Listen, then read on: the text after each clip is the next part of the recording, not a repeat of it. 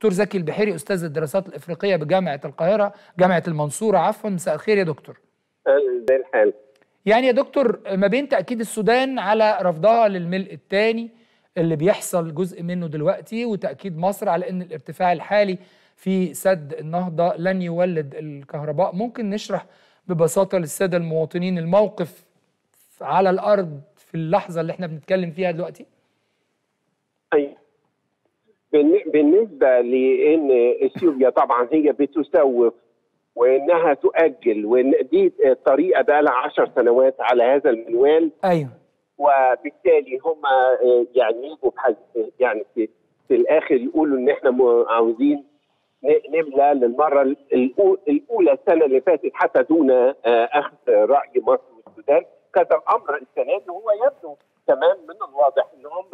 ان هم في هذا الكلام بيرضوا الشعب الإثيوبي وإنهم هم أسياد قرارهم وكان وكأن النيل الأزرق نهر داخلي وليس نهر نهر دولي. نهر دولي وأنا حاسس يا دكتور وحضرتك تصلح لي يعني ولو إننا مش في في معرض حديث سياسي إن الشعب الأثيوبي شعب طيب وما عندوش أطماع. هم الطائفه اللي بتحكم دلوقتي بتطول مدة وجودها على الكرسي لأنها المفروض إنها مشيت من شهور والمفروض كان يبقى في انتخابات فلازم نفتعل قضية كبرى. لكن السؤال الثاني لحضرتك هل يا فندم ال ال ال الأمطار السنة اللي فاتت الحمد لله ربنا سهل وكان في فيضان كبير وكان في أمطار بنسبة كبيرة جدا وكان بيقال إنه من المتوقع إن السنة دي كمان تكون سنة خير في هذه الجزئية فإيه رأي حضرتك؟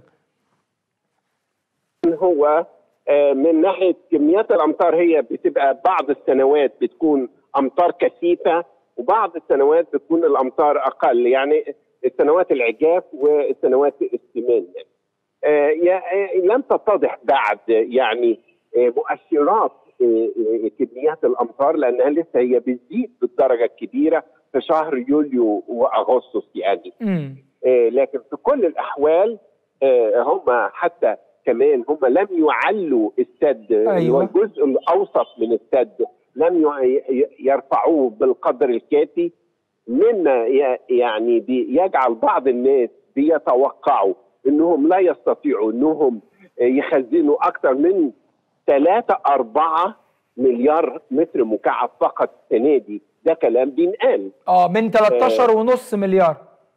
لا غير غير يعني مش هيوصلوا 13 ونص ولا حاجة. آه. لأن حتى لو كانوا هيوصلوا لهذا الرقم مصر كانت لا يمكن هتقبل الوضع تمام. على الإطلاق لأنه معناها إن أنت حطيتني هنا في في في خانة العطش بقى والجفاف الشديد. خانه صعبة. ما أقدرش أتصرف فيما بعد لما يكون السد 17 مليار قدر انهار أو قدر انضرب أو كده ده يغرق السودان كلها فلازم يكون في اتفاق صحيح. ملزم بين الاطراف الثلاثة قبل عملية الملء اللي هي جارية دلوقتي يبدو إن كمان أبي أحمد لا يريد أن يتنازل نهائيا في هذا المجال.